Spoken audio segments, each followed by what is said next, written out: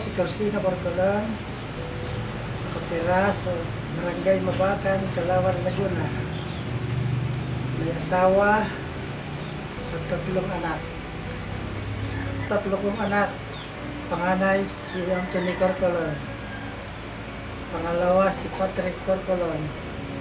Pangatlo si Jen Corcolon.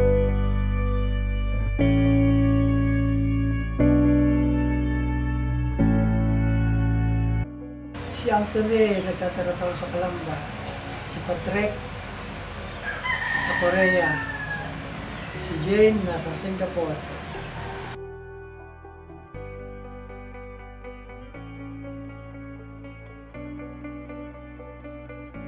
Dinala po ako ng aking kapatid at saka pamangkin sa health serve para ano sa emergency. Nalaman na may sakit ako sa bato. Payo sa akin ng doktor, nung ako nakakumpay, ay magpa-dialysis. Ayaw ko sana magpa-dialysis. Ngayon, ay, ayaw ng mga anak ko na hindi ako magpapa-dialysis.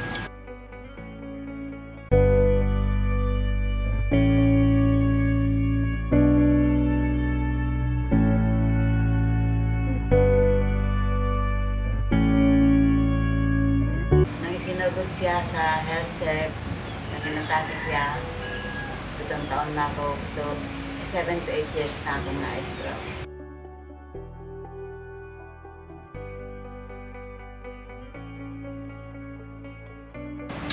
tatlong beses sa isang linggo. Sumunod, dalawang beses sa isang linggo.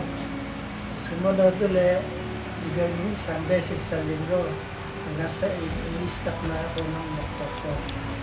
Nung isang taot kalahati na akong dinadialysis, i-stop ka ni Dr. Abelio at kinongratulate na ako. Uh, at, at least, normal na ulit. Yung lang sa catheter niya, hindi pa.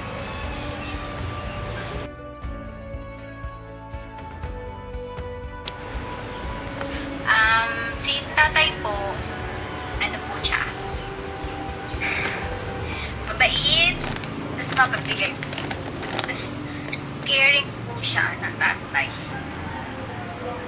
Tsaka favorite niya ako. Charot.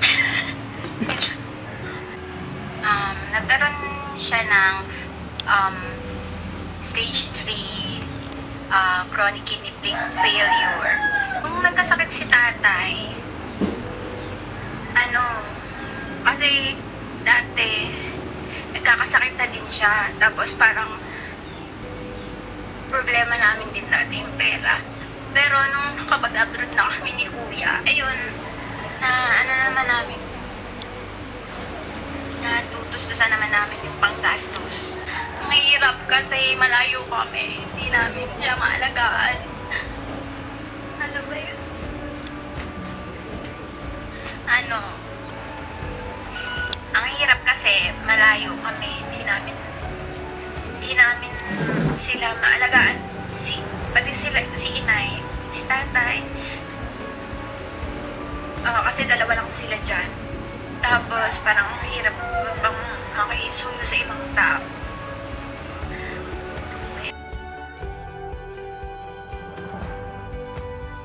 Um, favorite ko na memory kay tatay, nung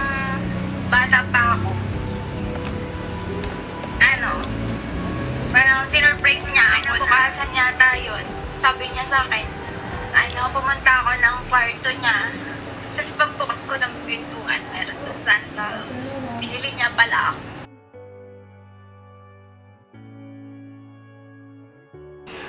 Oo, sige. Um, message ko, ano, Happy Father's Day. Tsaka,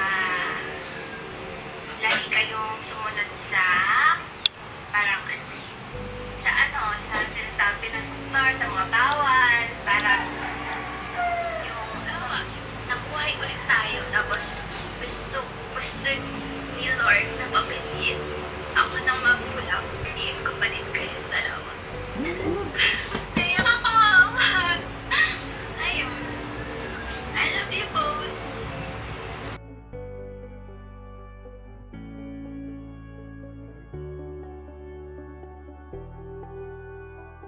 nung ako'y gumaling sa aking sakit, nag-alaga ako ng baboy. Sa umaga, at saka sa hapon ko lang pinapakain sila.